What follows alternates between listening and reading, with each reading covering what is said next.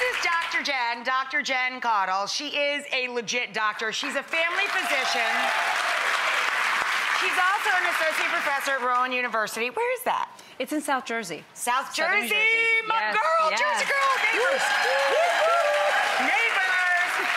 so today we have given our audience some true false cards and she's gonna debunk some myths. In summertime, there's all these myths that run around. You people want to know what's true and false. Right. So, audience, I need your help, okay? True or false?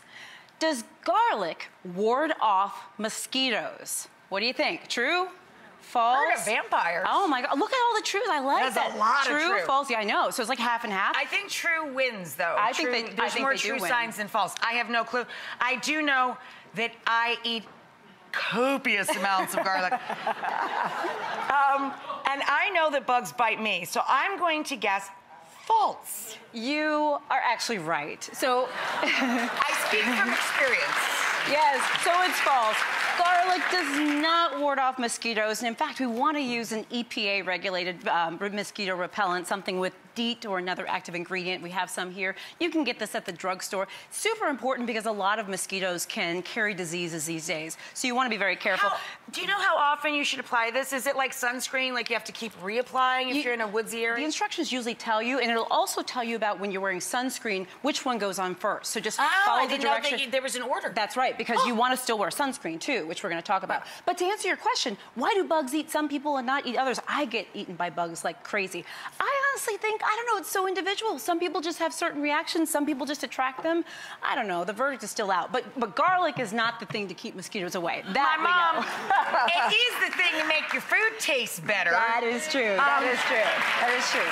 So, oh My mama, my mama always said that bugs like people that have sweet blood, so I must be sugar sweet on the inside. You are You too. sweet. You oh, thank you. So All much. Okay, so moving All right, on. moving on. Next question, guys. True or false? Get your paddles ready. You can get poison ivy from another person. Can you oh. catch Oh. poison ivy from someone else? Can you catch it from someone else? I ah, honestly do not Look at know. that. You don't know? So, Mostly true Mostly again. trues. Yeah. Mostly trues again. So the answer is true. Yay. wow.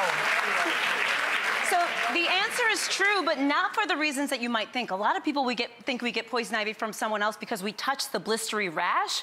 That rash is not contagious. It's actually the oil from the poison ivy or poison oak tree that will get on your clothes or your skin before you had a chance to wash so off or take your clothes off. So you get it from clothing. Oh even. yeah, that's usually where you get it. Oh. You've been out in the woods or whatever. You haven't had a chance to shower. It's on your clothes. Dogs can pick it up too. Yes. Yes. Your dog could get poison Yes. ivy from you, but not from the oogie thing. It's not the your rash. clothes. It's not the rash. Yes. Heck. So, um, yes, that's super, super important.